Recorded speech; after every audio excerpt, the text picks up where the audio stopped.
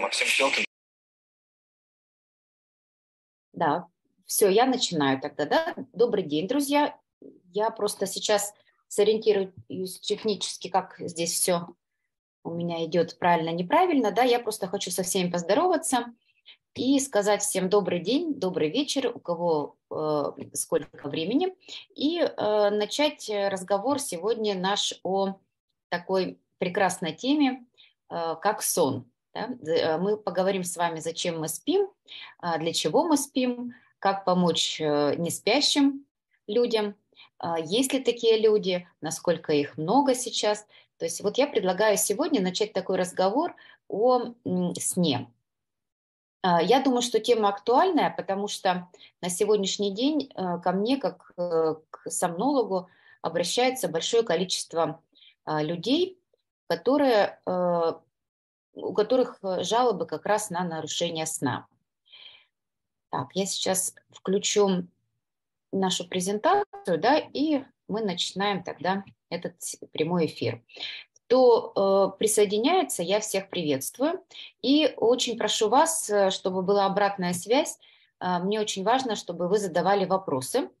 Э, какие у вас есть по поводу сна. Может быть, э, у вас у самих есть проблемы со сном, может быть, вы встречали таких клиентов, пациентов, которые страдают бессонницей или другими нарушениями сна. Я буду рада, если вы будете мне задавать вопросы в прямом эфире, и я постараюсь на все вопросы сегодня, э, конечно же, ответить.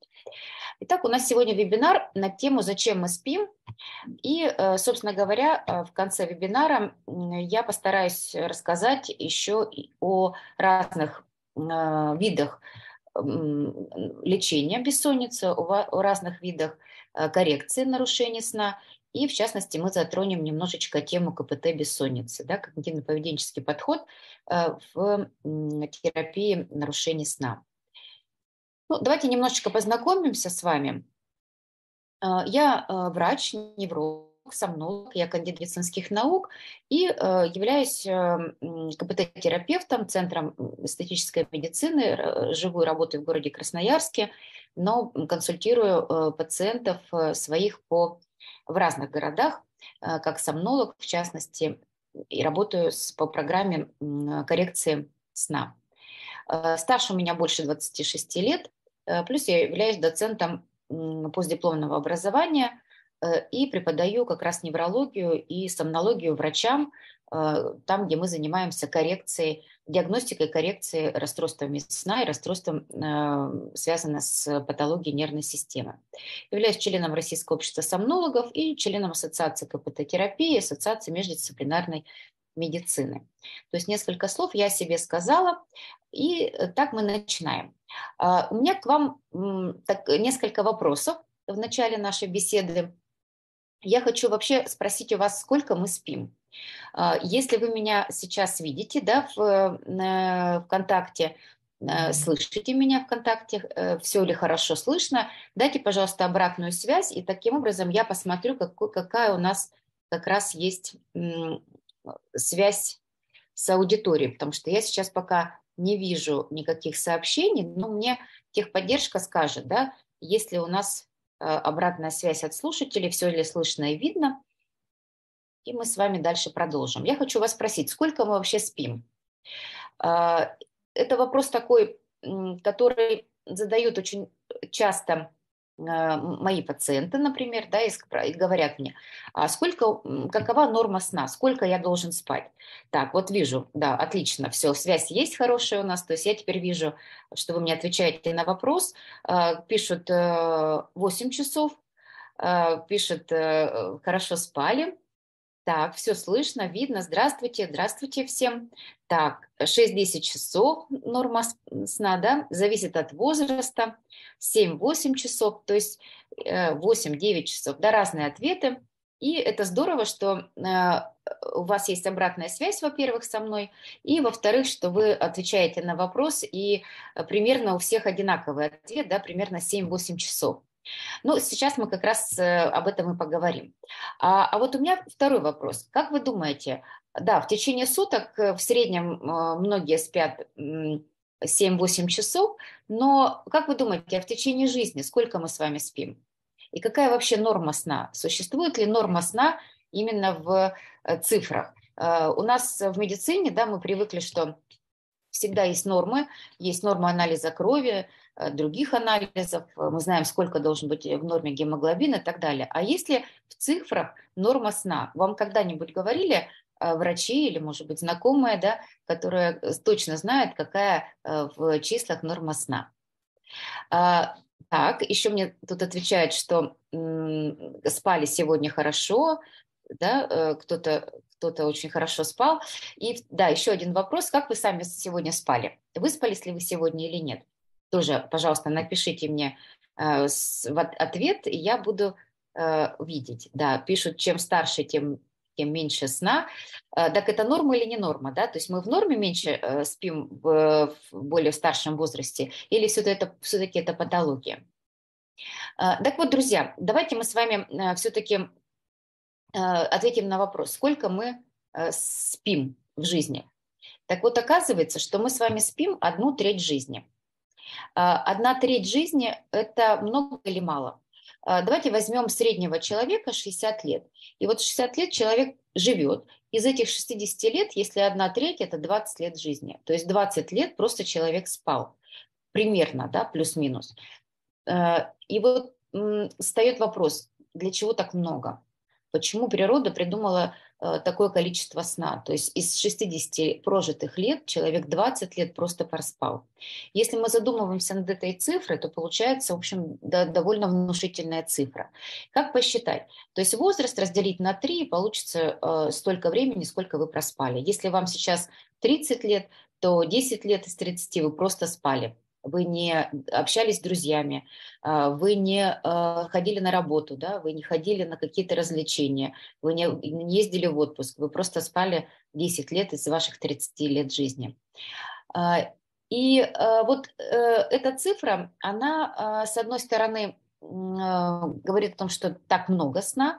С другой стороны, она, может быть, подтверждает тот факт, что все-таки сон, наверное, важен для нашего организма. И природа не просто так придумана а, вот э, такое количество сна. На самом деле нормы сна в медицине не существует. Имеется в виду количественной э, нормы сна.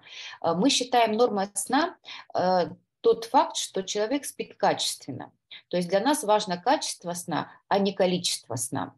А, поскольку есть короткоспящие люди, есть долгоспящие люди, есть люди, которым достаточно 5-6 часов, и они при этом будут себя чувствовать бодрыми, здоровыми, активными на следующий день, мыслительная активность их будет хорошая. А, а есть люди, которым э, необходимо 9 и 10 часов сна.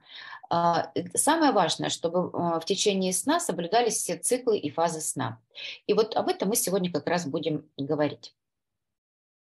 Так, кто-то мне пишет, что э, выспалась, э, сплю окей, но работала над этим. Да, отлично. То есть, видимо, раньше были какие-то проблемы со сном.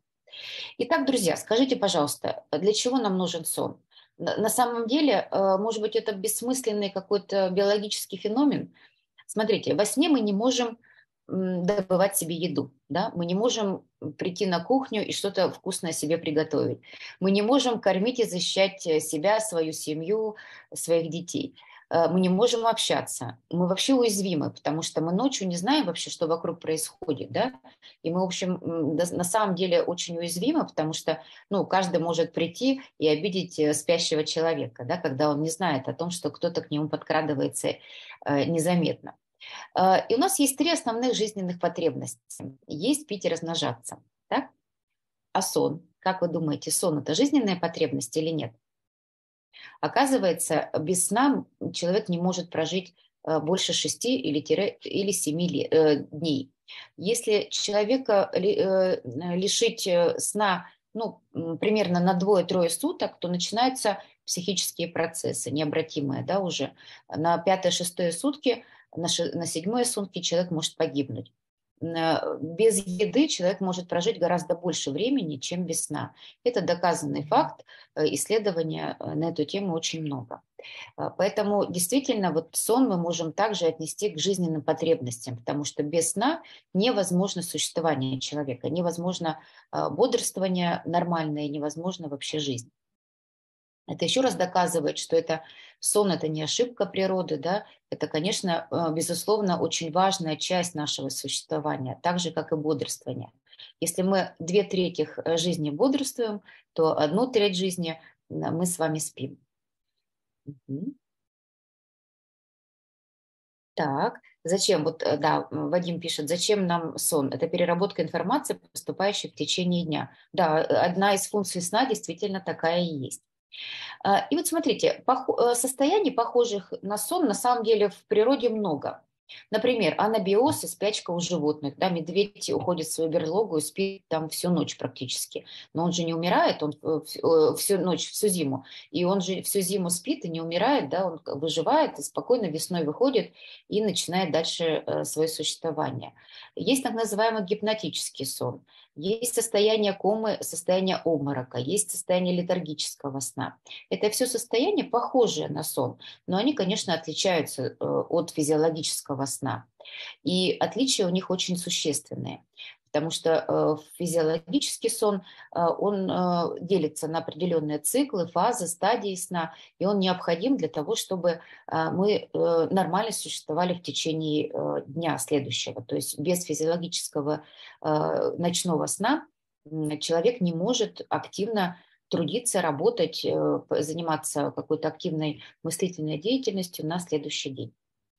В чем отличие, собственно говоря, бодрствования от сна? А, мне нравится очень хорошее определение а, Павлова да, э, про бодрствование. Он говорил, что бодрствование – это такое деятельное состояние коры головного мозга, а, которое поддерживается раздражителями из внешнего мира. То есть для того, чтобы нам с вами общаться, у нас должны быть какие-то раздражители, слуховые, зрительные, тактильные и так далее. И без этих раздражителей мы не можем существовать, да, мы не можем быть активными в течение дня. А, и вот э, бодрствование – это э, своеобразный уровень активности э, головного мозга, который достаточно высок для активного взаимодействия друг с другом. И у человека важнейшим признаком бодрствования является, собственно говоря, сознание и мышление. А у животных это условно-рефлекторная деятельность. Так вот, э, мы с вами во время бодрствования активно э, находимся в активном сознании и э, активно мыслим. То есть у нас активно вырабатывается определенное количество мыслей в течение дня. А что же происходит ночью? Можем ли мы включать свое мышление в ночное время? В сознании мы находимся в ночное время или без сознания? А, конечно, мы не можем реагировать на окружающую среду э, ночью так, как мы реагируем а, во время бодрствования. И это основное отличие состояния бодрствования и состояния сна. А, вообще в сон впадают все животные, то есть э, все абсолютно теплокровные животные имеют э, сон. И даже считается, что вообще все животные, которые в принципе имеют нервную систему, даже самую примитивную нервную систему, у них есть э, либо состояние сна, либо состояние похожее на сон, э, так называемое сноподобное состояние, которое возникает периодически, раз в сутки примерно. То есть у кого-то э, этот цикл может быть больше, у кого-то чуть меньше, но этот цикл регулярный. Это самое главное да, отличие всего животного мира. И сон по определению Кавальзона сон – это особо генетическое состояние. То есть мы все с вами э, рождаемся с определенным э, типом, да, то есть генетическим э, типом, и мы все с вами с рождения умеем спать. Нет ни одного человека на Земле, ни одного животного на Земле, который не умеет спать. Другое дело, что по каким-то причинам наш сон может расстраиваться в течение жизни. А, и поскольку это генетически детерминированное состояние, то есть это врожденное состояние, а, у него есть, у сна есть определенная характеристика. Характеризуется сон а, такими закономерным последовательной сменой таких картин в виде стадий, фаз и циклов сна. И вот мы немножечко сегодня об этом поговорим.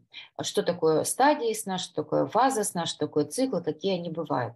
Но самое важное для нас э, в этом определении, что здесь нет, опять же, никакой цифры. Да? Здесь не написано, что э, сон – это 8 часов. да, или сон – это 7 часов. Откуда вообще взялись эти цифры 7-8 часов? 7-8 часов – это просто средний такой показатель по всему земному шару. Взяли людей из разных уголков нашей Земли и просто спросили, сколько времени примерно они спят в течение дня, ночью, да, то есть в течение суток, сколько у них сон длится. И оказалось, что в среднем, в среднем люди в разных уголках нашей, нашего э, земного шара спят примерно 7-8 часов. Это средний показатель по количеству сна. Но это никак не говорит, что это норма. Потому что, еще раз говорю, есть разные типы людей, которые спят, там, краткоспящие, долгоспящие. Но для нас важно в этом определении как раз, э, что есть циклы, фазы и стадии сна. Вот если какая, какие-то стадии выпадают сна, или, как, э, или циклов становится меньше в течение ночи, то вот это уже может говорить о патологии сна. И это будет проявляться как раз э, в состоянии бодрствования, недосыпом, а, э, изменением мышления, э, изменением стрессоустойчивости и так далее, то есть снижение активности физической и так далее, и так далее. То есть много очень проявлений да, бессонницы мы знаем. Поэтому вот такое определение, который, в котором нет никаких цифр. А, и вопрос такой возникает сразу, а можно ли вообще не спать? Но мы с вами выяснили, что совсем не спать не получится, потому что через 6-7 суток человек погибает. И мы знаем, что в, мире были, есть такие, к сожалению, практики, да, то есть когда э, человека человека можно э, только лишением сна, только депривацией сна э, человек может лишиться жизни, да, то есть это такие испытания, да, у человека могут либо во время Великой Отечественной войны мы знаем, что были такие пытки, да, э, депривации сна. И, в общем-то, э, на пятые-шестые сутки, еще раз повторю, у человека происходят необратимые психические изменения. А, давайте мы с вами обратим внимание, как люди э, по-разному спят. А, вот, например, Э, знаменитые люди, да, возьмем знаменитых людей. Э, Леонардо да Винчи. Э, он спал по 15-20 минут в день каждые 4 часа. И всего в сутках он спал примерно 2 часа. Ну, вот нам известно из истории, да, что у него такой был сон. Остальные 22 часа Леонардо работал и был великим человеком. Да? Например, Наполеон. Он спал очень мало, у него тоже был прерывистый сон, он спал не больше 4 часов в сутки, и он всегда говорил, что нет времени спать, когда э, есть столько великих дел, и совершал какие-то свои великие дела. Э, например, Сальвадор Дали, великий э, человек, который практиковал рваный сон. Э, что такое рваный сон? Рваный сон – это когда э, человек специально э, садится в такую позу, чтобы э, вызвать короткий сон. То есть, например, как спал Сальвадор Дали. Он полусидя спал, он брал поднос такого, из какого-то металла, брал ложку в руки и начинал засыпать.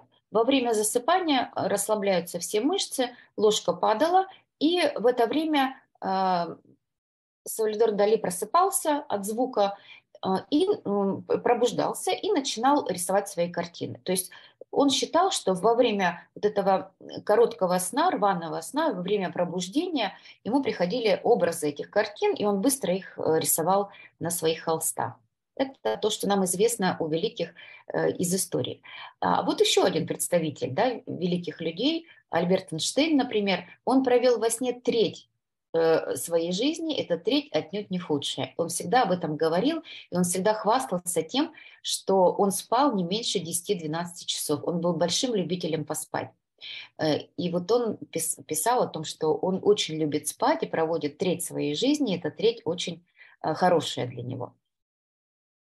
В нашей стране наука сомнология начала развиваться не так давно, а, ей, она очень молодая, ей эм, там около, э, наверное, 70 лет, да, то есть и первый в нашей стране начал заниматься этой наукой эм, Вейн, эм, Александр Моисеевич Вейн, который э, был академиком.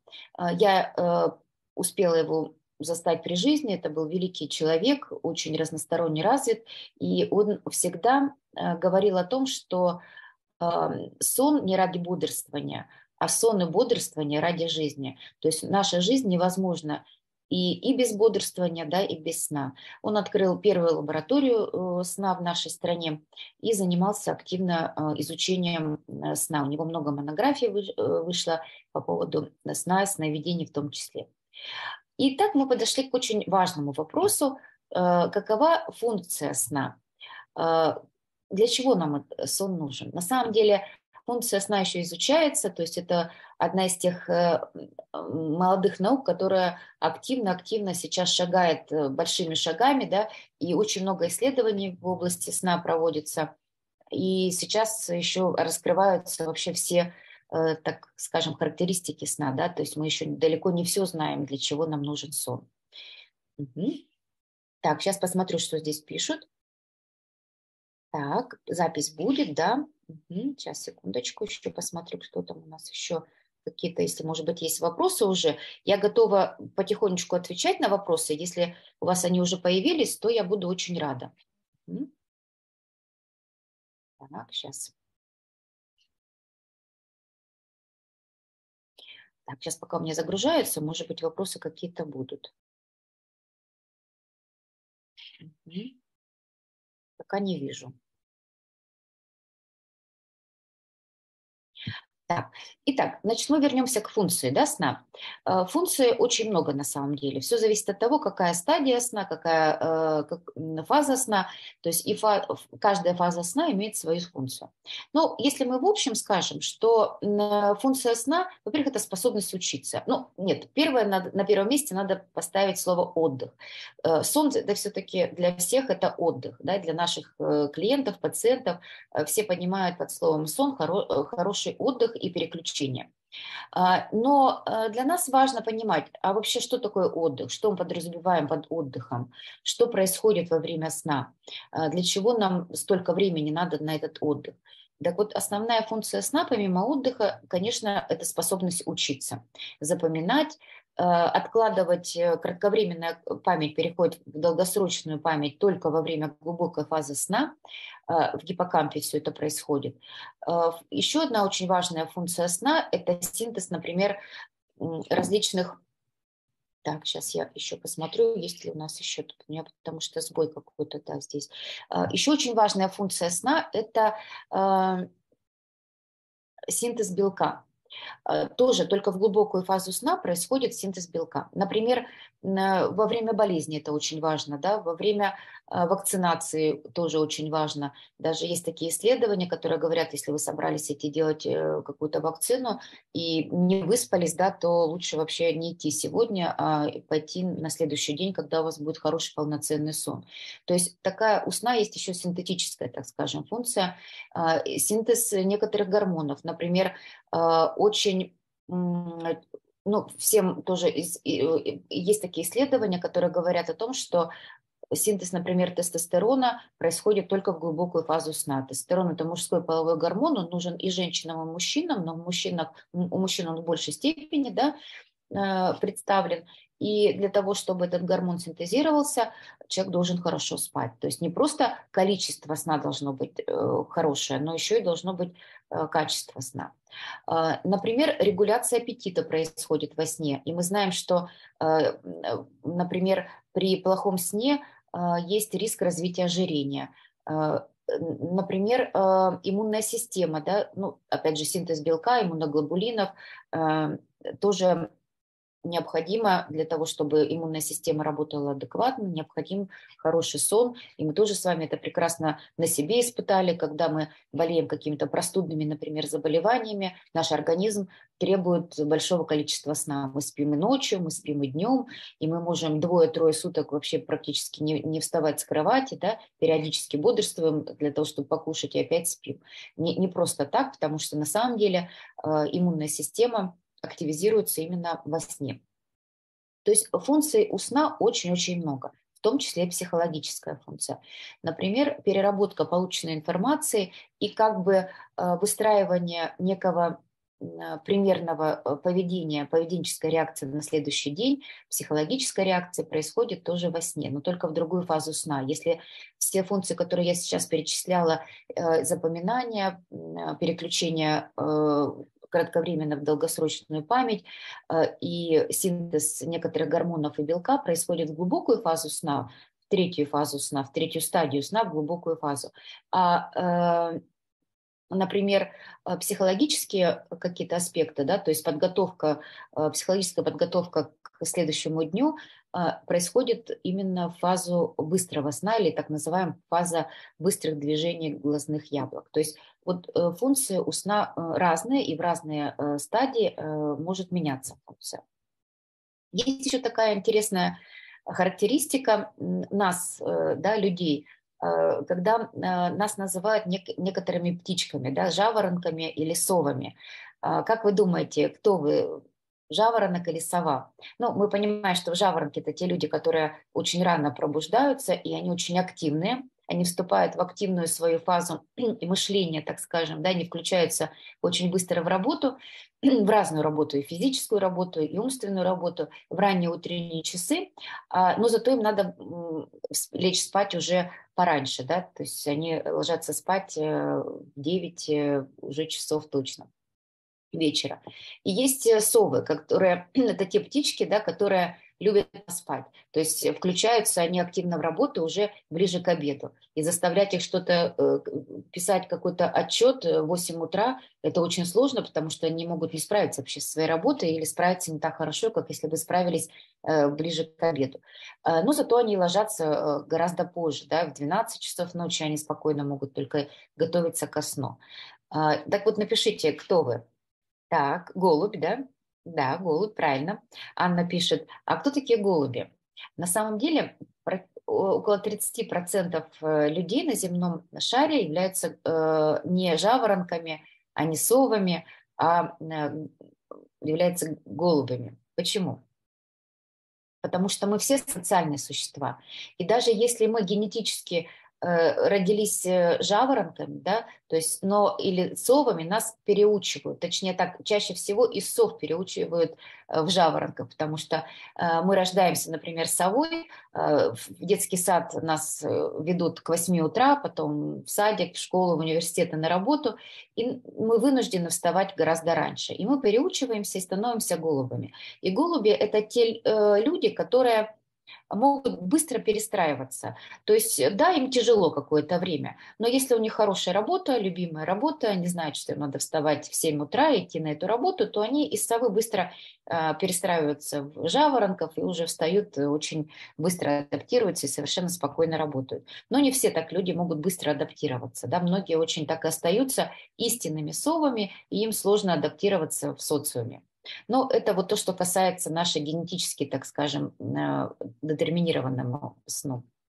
На самом деле, э, очень многие из нас, кто себя узнал, поставьте, пожалуйста, плюсик в комментарии, кто себя узнал. На самом деле я и не сова, и не жаворонок, да, судя по моим регулярным недосыпам, я зомби. И очень много у меня таких как раз пациентов, которых можно отнести в разряд зомби. Кто себя узнал на этой картинке, поставьте плюсик, пожалуйста.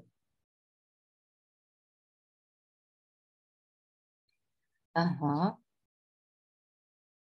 Разделение, э, разделение на голубей и жаворонков – это не дичь как раз, это э, научно доказанный факт. Я здесь говорю словами, конечно, не научными, да, но э, это фаза раннего пробуждения или фаза э, долгого засыпания, она по-научному называется, но э, в простонародье это как раз так, так и есть. То есть для понимания и для э, наших пациентов это как раз вот тот подход, да, когда мы можем объяснить, почему им плохо включаться в какую-то активность именно в дневное время. Конечно, в научной литературе это все называется не жаворонками, а голубями. Это фаза запаздывания сна, да, или фазы раннего сна и так далее. То есть на цикле, вот я дальше расскажу про наш цикл, я об этом все буду говорить. Итак, мы пришли к тому, что э, сон нам нужен, э, сон необходим для разных функций. И без сна, собственно говоря, мы не можем вообще выжить на этой планете, и ни один человек не существует без сна. Хотя очень часто ко, мне приходят пациенты и говорят, вы знаете, я вообще не сплю уже около года. Или кто-то говорит, вы знаете, я не сплю пять лет. Э, я спрашиваю, как вы совсем не спите? Да, совсем не сплю. Ну, понятно, что это невозможно. Есть такое понятие, как э, так называемая э, афазия сна, да, то есть или когда амнезия сна, когда человек забывает, что он спит, или он помнит только фазы э, быстрого сна, то есть или момент пробуждения, ночные и забывает, когда он спал. И это очень э, такое сложное состояние, потому что э, человеку очень сложно понять, что он на самом деле спит. А, и вот э, таких людей не так много, да, но а, людей, которых страдают вообще нарушениями сна, бессонницей или другими проблемами со сном, их в мире э, достаточно, достаточное количество. Вот обратите внимание, что по данным статистики Всемирной организации здравоохранения у 30-50% населения мира встречается э, кратковременное нарушение сна. Кратковременные – это которые длятся несколько ночей, потом сон восстанавливается. И у, у 10, от, от 5 до 10 процентов э, э, жителей планеты э, распространенность хронических нарушений уже есть. Да? То есть хронические нарушения сна – это нарушения, которые длятся больше 3-4 месяцев. Э, цифра тоже не очень э, маленькая, но и не надо забывать о том, что если у человека даже есть кратковременное нарушение сна, это приводит к дезадаптации его, да, и э, в некоторых ситуациях жизненных, например, очень сильно мешает человеку даже кратковременное нарушение сна. Но и с каждым годом нарушение сна становится все больше и больше, распространенность нарушений сна растет. Если мы говорим про Россию, то распространенность нарушений сна среди россиян э, до 23% людей жалуются э, на те или другие нарушения сна, и по-разному испытывают э, трудности э, во сне, испытывают разные. Например, до 70% людей испытывают сложности с засыпанием. И таких пациентов действительно много. У меня на приеме, например, таких большая часть пациентов, которые очень сложно уснуть. Норма засыпания примерно 15-20 минут. Но если человек засыпает час, два и три, это, конечно, не норма. И вот э, они так и жалуются, да, что я лежу в кровати и долго не могу уснуть. 12% а, жалуются на нехватку сна, им недостаточно того количества, которое у них есть. И 6 примерно процентов сталкиваются с проблемой неглубокого или прерывистого сна, когда частые ночные пробуждения, когда человек просыпается и чувствует себя как будто бы уже бодрым и готов уже что-то делать, да, но тут еще ночь, 3 часа ночи, и вроде как надо бы поспать еще, но больше он не может уснуть. Или он засыпает, опять просыпается, и таких пробуждений может быть несколько в течение ночи. И есть еще э, один эм, такой, так называемая разновидность нарушения сна, это раннее утреннее пробуждение, когда человек просыпается до будильника за 2-3 часа. А, и э, мы с вами говорим про сон и бодрствование. И вот что касается вот этого жизненного цикла нашего, да, то э, мы все живем вообще, подчиняемся каким-либо циклам. И вот сон и бодрствование – это один из ярких так скажем, э, циклов, которые представлены у человека. Хотя у нас множество циклов. Например, сердцебиение тоже подчинено определенному циклу, цикл дыхания – цикл пищеварения и так далее. И э, здесь вот, э, говоря о сне и о бодрствовании, мы можем с вами как раз рассуждать о циркадном ритме. Это очень важный ритм. Каждая наша клеточка э, организма живет э, под, э, по законам циркадного ритма. Если мы говорим глобально о бодрствовании и сне, то здесь вот хочется сказать, что есть определенные часы, да, когда человек – Э, бодрствует и спит, когда у него меняются физиологические изменения происходят, да, то есть по циклам тоже. Например, в ранние утренние часы самое большое количество кортизола, да, гормон стресса, кортизола, он нас будет.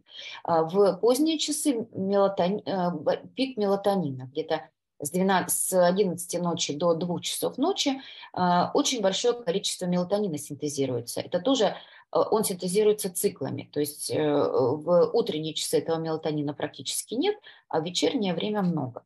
Мелатонин – это гормон сна, который нас приводит ко сну, да, то есть инициация сна с помощью мелатонина происходит. А кортизол будет нас, поэтому у них есть вот такой свой цикл. И вот мы можем так э, распределить э, очень многие э, физиологические такие особенности человека, синтез некоторых гормонов, физиологию, мы можем разбить по часам прямо. Поэтому это называется циркадный ритм. Если очень коротко, да, то есть просто вообще вспомнить, что, что такой ритм существует. И э, когда мы говорим о сне, о бессоннице, чем же опасна бессонница? То есть понятно, что человек совсем спать не может, он спит все равно, но сон у него некачественный. И э, в медицине известно больше 80 болезней, связанных э, только с нарушениями сна. Э, при нарушениях сна развивается риск сахарного диабета, риск сердечно-сосудистой патологии. Мы знаем, что в самые ранние утренние часы больше всего происходит инсультов, например. В 5-6 утра Э, это самый такой пик э, возникновения ишемических инсультов. Э, развитие ожирения, развитие психических заболеваний очень многих. И вообще риск преждевременной смерти у человека, если есть нарушение сна. То есть актуальность, конечно, этой, этой проблемы очень большая, потому что бессонница на самом деле опасна своими вот развитием своих таких различных заболеваний. И сама по себе бессонница приводит к инициации каких-либо заболеваний, да, и если у человека есть какой-то патологический процесс, какая-то хроническая патология, то нарушения сна могут усугубить эту патологию, либо поддерживать э, или перевести в хронический процесс. А, на самом деле, вот здесь слово написано «бессонница», да, это эм, э, слово, которое, э, так скажем, мы употребляем в простонародье. Просто так говорить бессонница не, не, нельзя, нет никакого смысла, потому что э, совсем человек не может не спать. Правильно говорить инсомния. Инсомния – это нарушение сна. Ну, наши все клиенты, пациенты, да, они, как правило, говорят бессонница. Так вот, я говорила о том, что э, сон и вес э, тоже взаимосвязаны друг с другом. И здесь встает вопрос. Э, на самом деле, если человек плохо спит, он набирает вес или он теряет вес? А, здесь э, важно, что гормон, грелин, например, гормон, который вырабатывается э, в голодном желудке, да, и требует больше еды, и лептин, который гормон насыщения, то есть они тоже э, связаны с различными фазами сна. И здесь взаимосвязь есть на всех уровнях, на уровне физиологии, на уровне биохимии. Человек с плохим сном будет набирать большую массу тела. И вот как этот мужчина на картинке, да, когда ему жена говорит, что нет, дорогой, ты слишком много ешь, нет, я слишком мало сплю, это на самом деле и так. А, мы знаем, что вот э, ожире, риск ожирения растет при бессоннице. А, Еще один феномен – это храп. А, ну, наверное, в каждой семье хоть раз кто-то слышал такой звуковой феномен, как храп. Это либо кто-то из членов семьи, имеет этот храп, либо сосед, может быть, храпит. Э, так вот, на самом деле, ко мне, когда приходят с, с проблемой храпа, то э, встает вопрос, э, а у всех ли членов семьи вообще хороший сон? Хра, сам храпящий своего храпа не слышит. Зато слышит его храп кто? Слышит, конечно, рядом находящиеся люди. И у этих же людей возникает проблема со сном.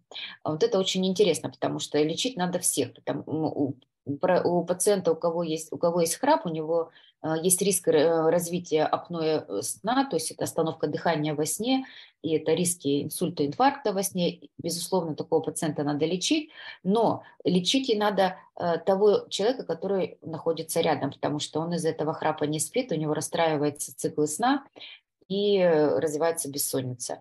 Поэтому это тоже одна из проблем сомнологии.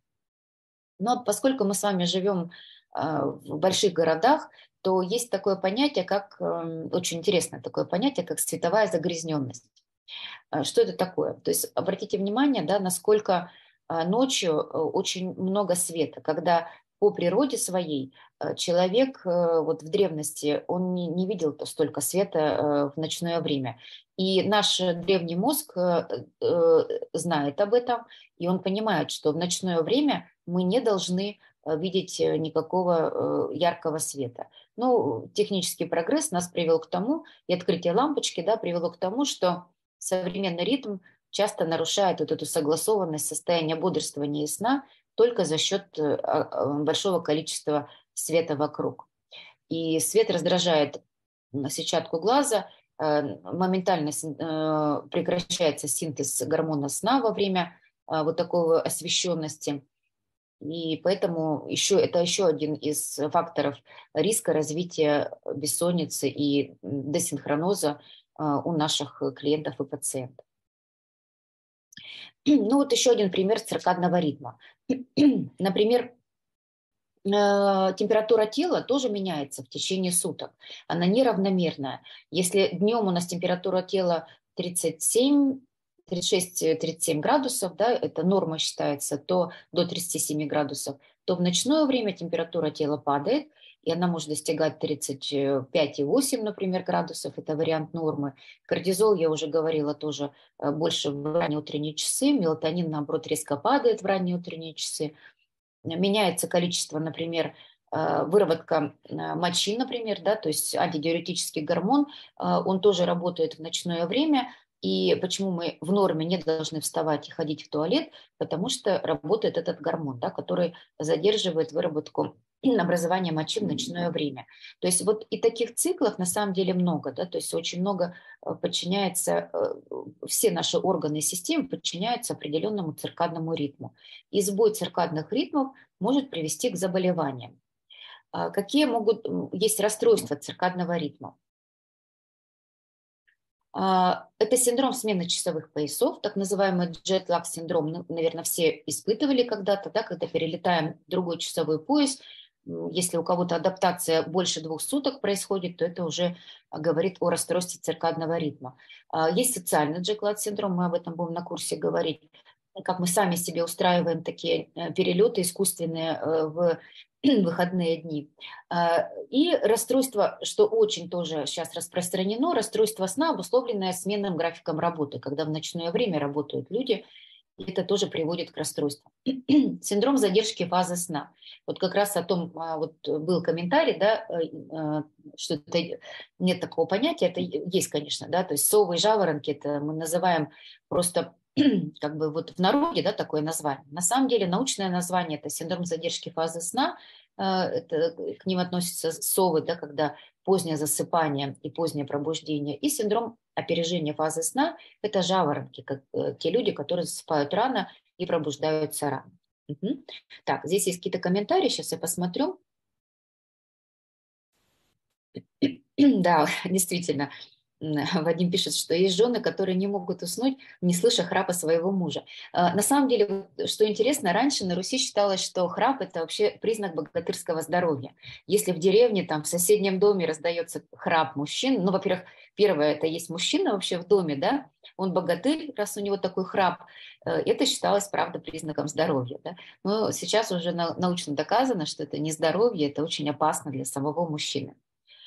Так, я иногда лучше и глубже засыпаю при э, верхнем свете под музыку. Но здесь тоже важно, э, важный этот комментарий, да, то есть есть разные э, моменты, кто-то засыпает под а, в наушниках, например, кто-то под телевизор. Это не совсем вариант нормы. Мы понимаем, что спать надо в полной темноте, потому что при любом свете, даже если у вас выключен компьютер, полная темнота, и в компью... на компьютере горит э, точечка, да, вот э, просто значок, что компьютер выключен, и небольшая такой освещенная точка, то э, если вы глазами увидите эту точку, то тоже будет снижаться уровень мелатонина.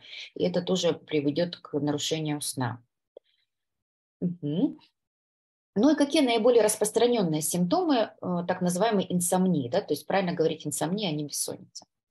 А, трудности с поддержанием сна. То есть а, пациент может уснуть, хорошо, довольно-таки быстро уснуть, 15-20 минут, но потом а, ворочается, просыпается, у него такой поверхностный сон, он частично может просыпаться или переходить в состояние, не доходить до состояния глубокого сна, так называемый невосстанавливающий сон. То есть когда э, человек чувствует себя не отдохнувшим в течение ночи и не может приступить к тем э, обязанностям, которые он обычно выполнял раньше, например, совершенно спокойно справлялся с этой работой, сейчас э, эта работа для него сложная э, такой не, сон не восстанавливающий. Сложности с засыпанием часто бывают и утрен, раннее утреннее пробуждение, которое раньше двух-трех часов.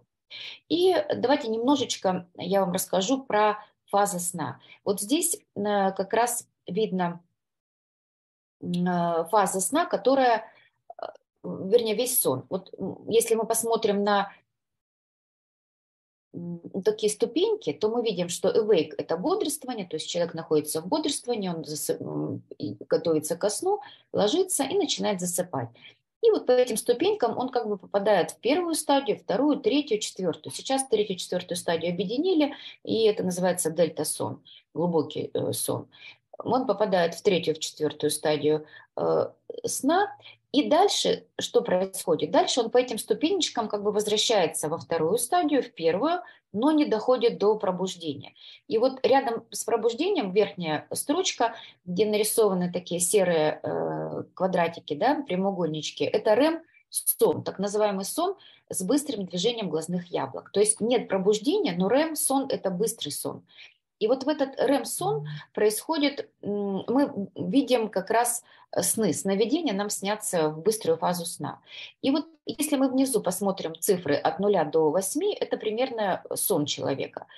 И э, в первую фазу, э, в первую половину ночи мы видим, что преобладает в основном глубокая фаза сна, а в более ранние часы преобладает поверхностный сон или быстрый сон, сон с большим движением глазных яблок.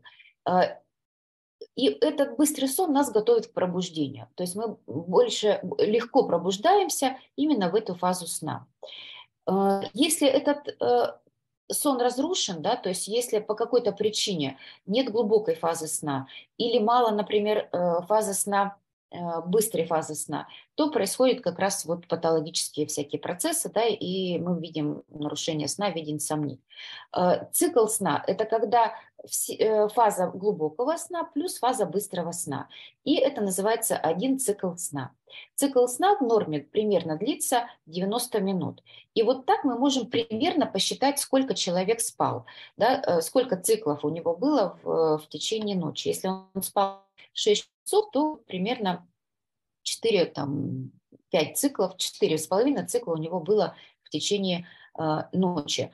Э, в норме считается, э, человек должен э, пребывать, у человека должно быть 5-6 э, циклов сна в, течение всей ночи. То есть сон, который имеет и глубокую фазу, и фазу быстрого сна.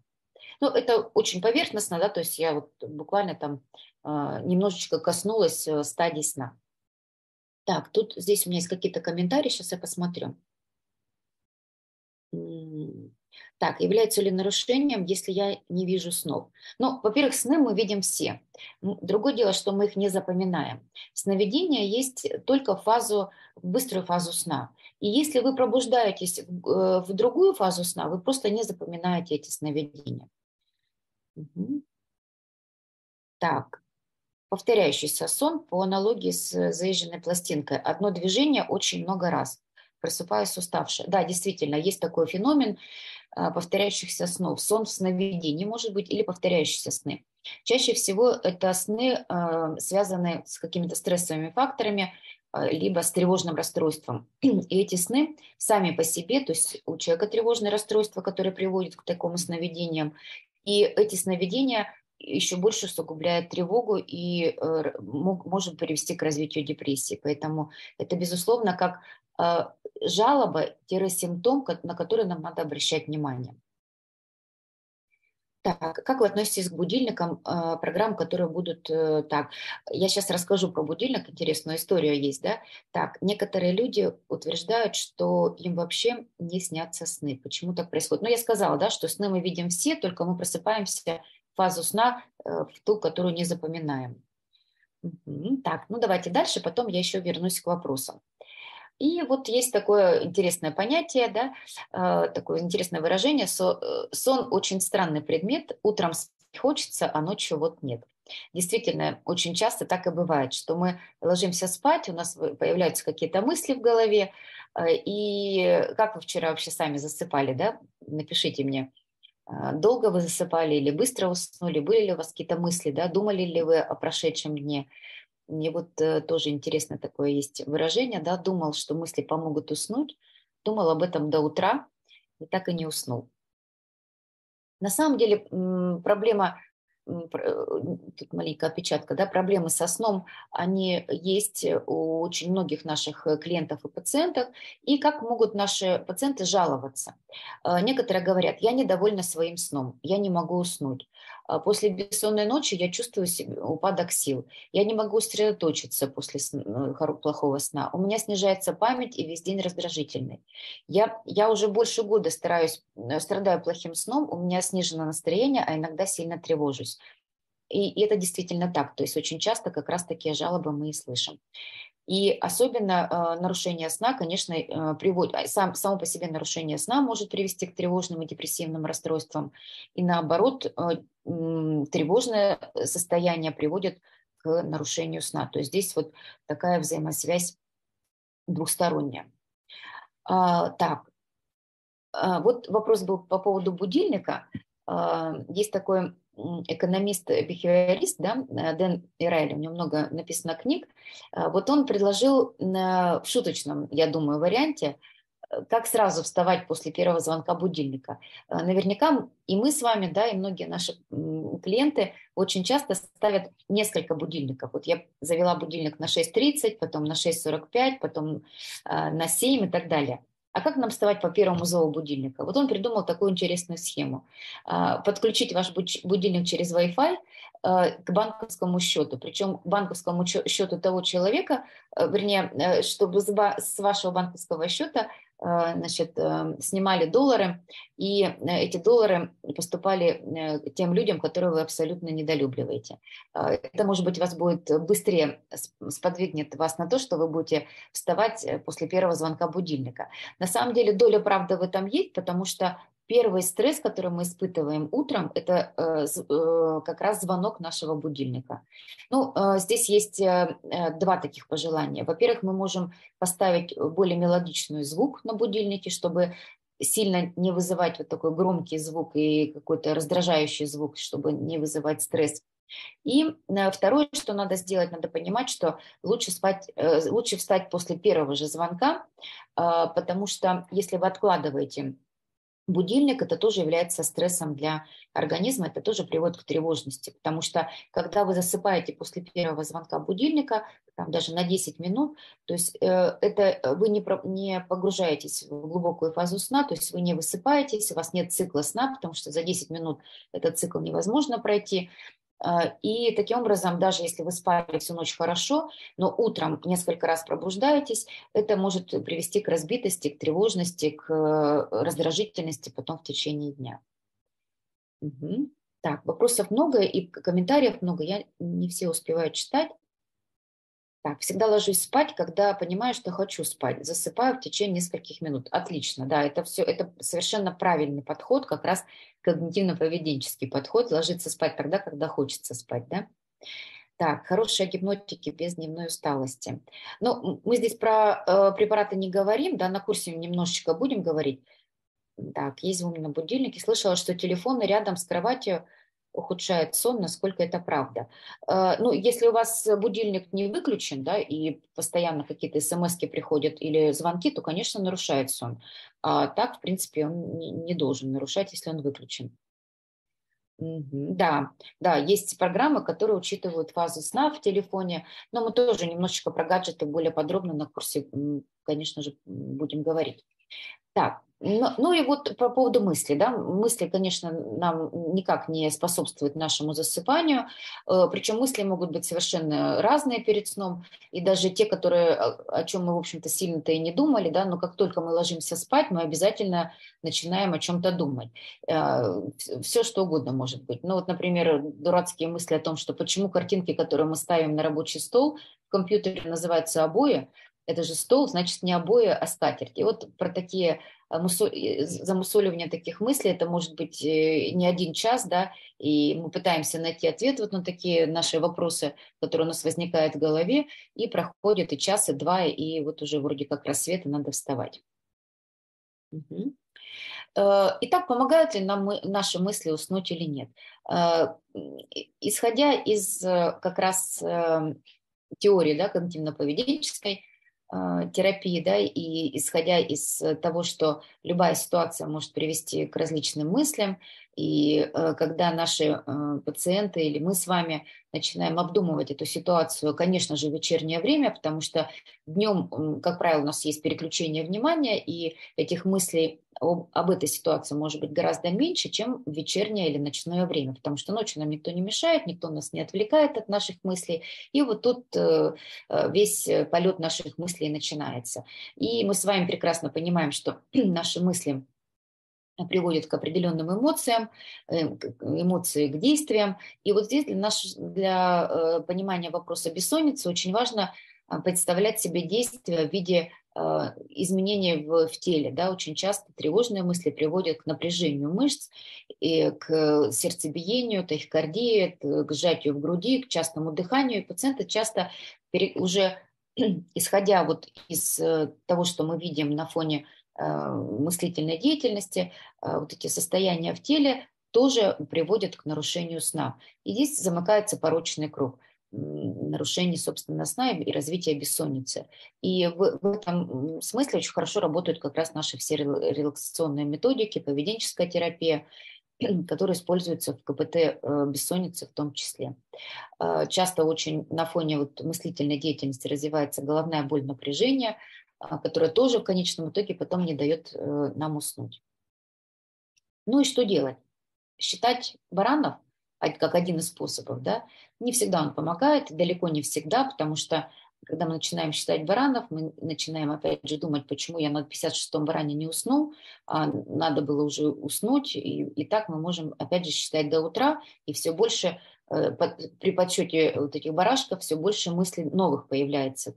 А по утрам я буду чувствовать, утром я буду чувствовать себя не отдохнувшим, а я опять плохо засыпаю, я уже посчитал почти все стадо баранов, а, а все время э, никак не могу уснуть, да, и э, весь день буду, на следующий день наверняка буду разбитым, и мне все время будет хотеться спать днем.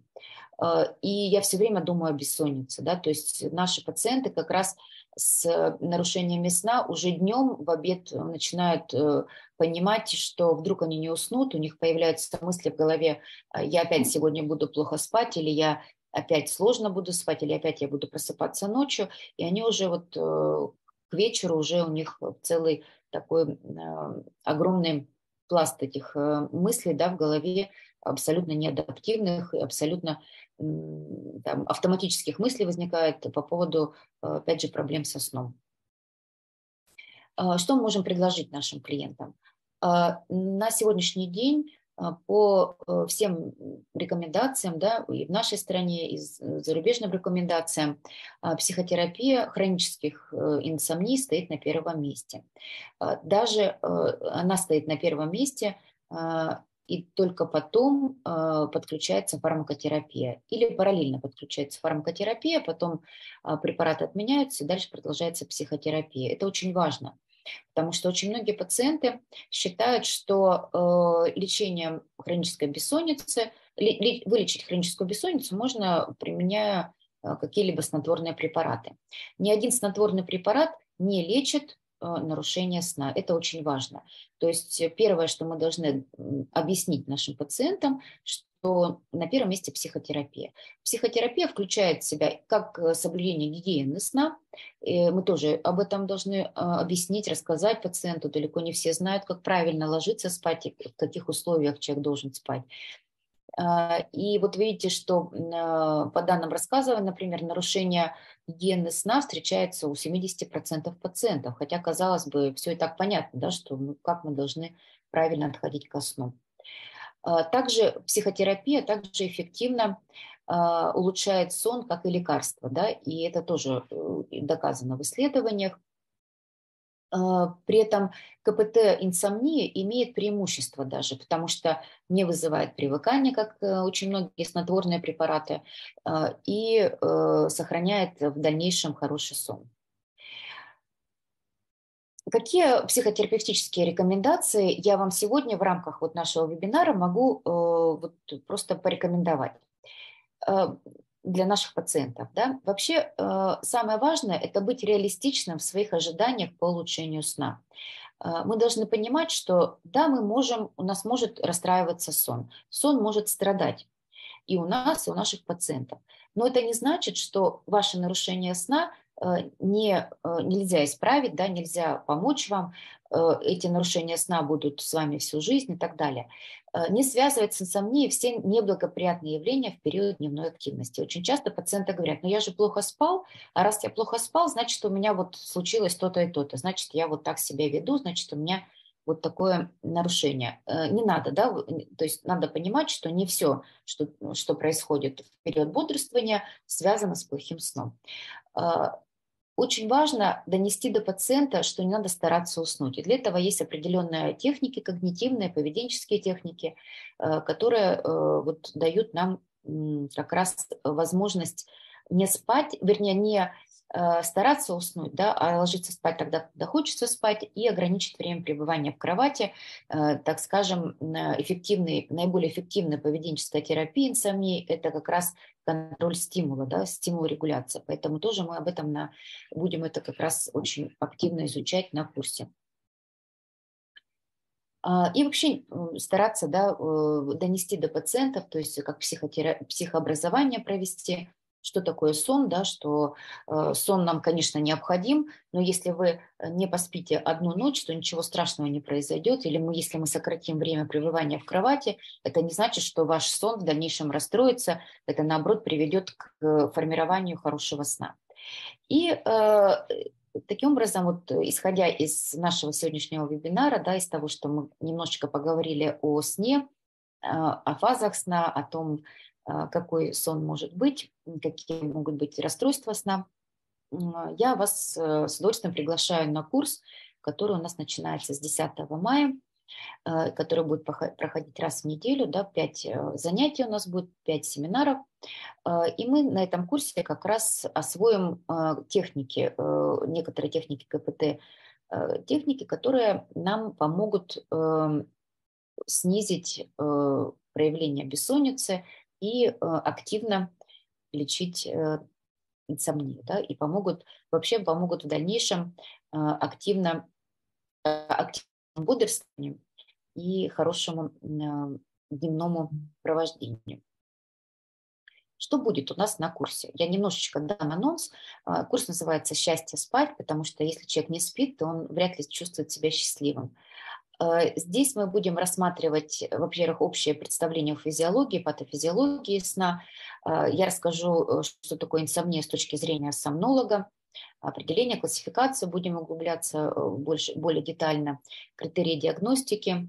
Расскажу о теоретических основах CBT-I да, или КПТ-терапии бессонницы, о трехфазной модели инсомнии, о факторах риска, модели так называемой 3, 3П.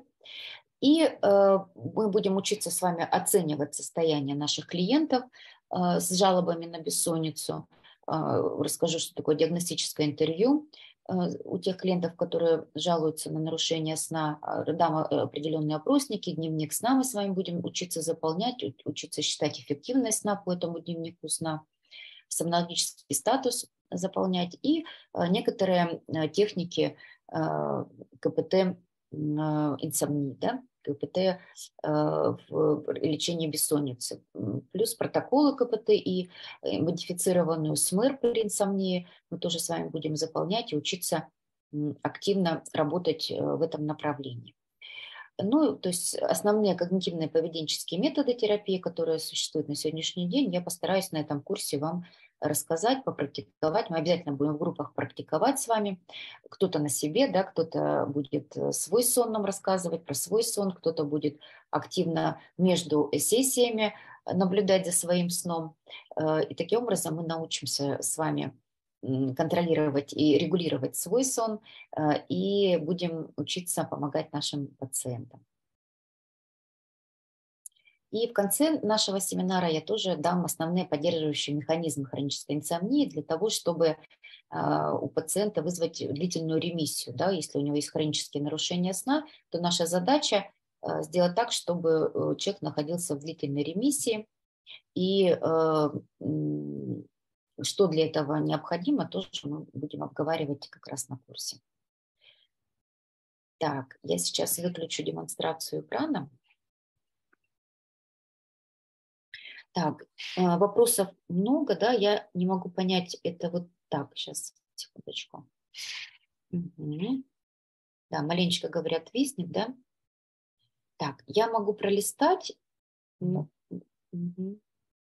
Не все вопросы я вижу, сейчас я маленечко пролистаю, те, которые успела зачитать. Да, э, часто падение во сне бывает. Да, это интересный феномен. То есть во сне отключаются те части головного мозга, которые регулируют э, наши позы.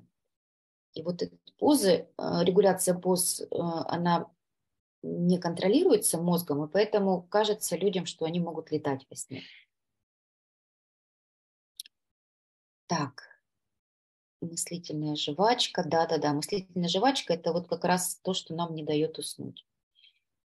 Как, э, как организовать качественный сон мамам, которые вынуждены просыпаться э, по ночам для кормления ребенка.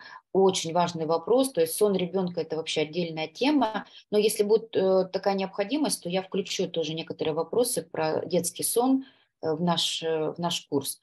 Но Тут важно э, маме правильно организовать свой отдых. Да, есть э, программы в телефонах есть разные. Есть э, браслеты, которые могут фиксировать фазы сна, но они, конечно, не совсем правдоподобные, да, то есть это не, не то обследование, которое на полисомнографии происходит. Угу. Так, есть умные будильники, это я уже говорила. Так, говорят, что плохо быть совой из-за биологических часов. Подскажите, так ли это? Это неплохо и не хорошо. То есть если вы рождены как раз э, генетически, у вас больше э, предрасположенность к тому, что вы э, позже засыпаете, ничего страшного. Главное отрегулировать свой день. Да? То есть главное так подстроить свой график работы, чтобы вы могли спокойно приходить на работу не к 8 утра, а чуть позже. Да, не могу долго уснуть, засыпаю по 2-3 часа. Ну да, друзья, очень вопросов много на самом деле, да, и про собственный сон э, очень много спрашивают. 2-3 часа это не норма. Норма засыпания 15-20 э, минут. Так, некоторые люди утверждают, э, что им вообще не снятся сны. Нет, сны снятся. Так, повторяющий сон, это я уже говорила. Я вроде как на все ответила. Сейчас мне, может, подскажут, да, технические наши работники, чтобы все ли я ответила или нет. Угу. Да, ответы на все вопросы есть. Есть еще какие-то, которые я, может быть, упустила? Нет. Нету, да? Угу. Ну, я очень рада была встретиться с вами здесь э, на вебинаре. Э, если у кого-то э, есть желание, да, если у кого-то есть такой интерес к проблемам сна и к коррекции к сна, да, как, какие можно применить методики к нашим пациентам, потому что, конечно, лечить тревожные расстройства или лечить депрессивные расстройства или ПТСР, например, но без коррекции сна это очень сложно, да, потому что мы сами знаем, что восстановление нашей психической функции идет в том числе и во сне, поэтому здесь очень важно всесторонне подойти к нашим клиентам, пациентам. Я очень рада была встретиться. Если вопросов нет, тогда мы, наверное, завершаем, да? Эфир сохранится, я так поняла, да? Да. Угу. Все, всем спасибо за внимание, спасибо, что очень много было вопросов, очень много было комментариев. Жду вас всех на курсе, у кого есть интерес. До свидания.